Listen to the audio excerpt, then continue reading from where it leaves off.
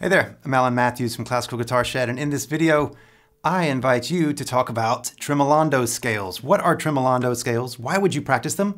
What can you expect to get out of them? How can you make them the most beneficial and the most useful for you? We'll talk about all these things in this video. If you enjoy it, please subscribe to this channel and also click the little bell to get the notifications.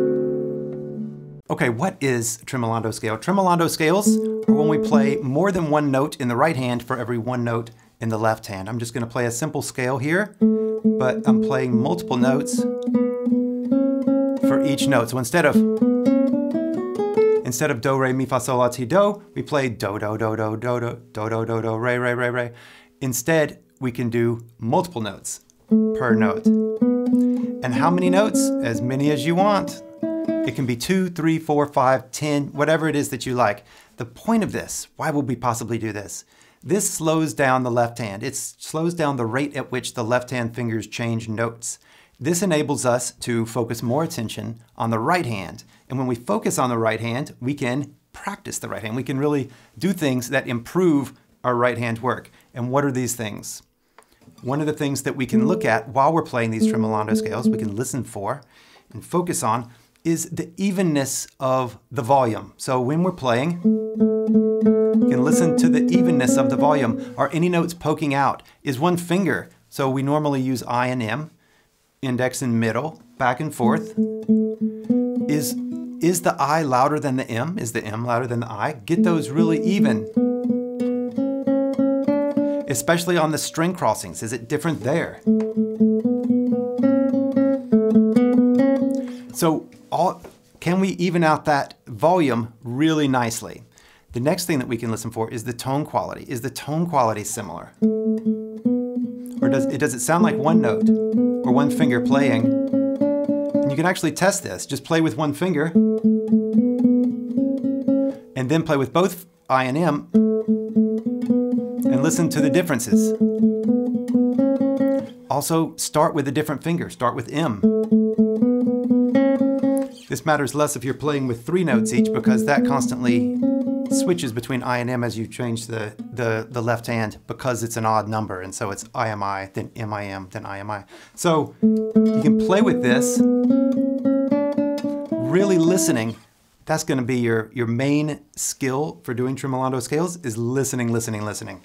There is nothing more you should be doing than really listening like crazy for the evenness of the tone, evenness of the volume. So why would you practice this? Well, as you might suspect, you can get a lot out of it. You can really increase your control, precision, and accuracy with your right hand. You can also work on the synchronization of the two hands. Because if we're playing all of the notes, it's easy to go faster, and then a lot of little messinesses they just kind of fall by the wayside. You don't notice them. They fly under the radar. Wow, that sounded great. I'm so good, I'm so fast. Instead, if you slow down, you might realize actually that was really messy, but I didn't realize it because it was so fast. It gave the illusion of perfection. So that's one of the things that we can do. It just really opens up the clarity of, of each note.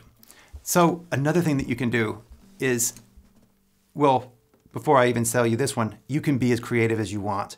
You can constantly change and make up new exercises to do using tremolando scales, one of which are accents, is accents. So when we play accents, we're making one note louder than the rest, and that means we bring the other ones very quiet. Especially the note right after the accent. It doesn't have to be the first note of each. It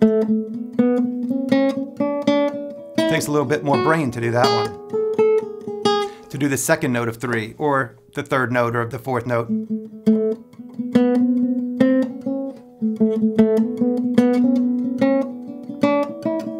So you can accent, accents are lovely. You can accent any one of the notes that you would like to. First, second, third, fourth, fifth, whatever you choose. And that is a study.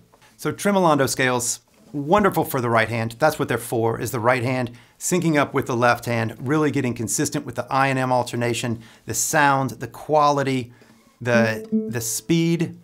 You can work on your speed with it while keeping the fussiness of the left hand down.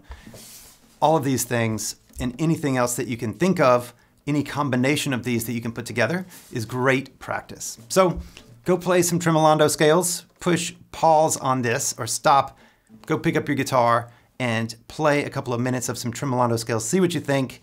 Uh, jot a note to yourself to do it later, but do something with this. Don't just watch it and move on. And subscribe to this channel, and I'll see you soon. Good luck. Bye-bye.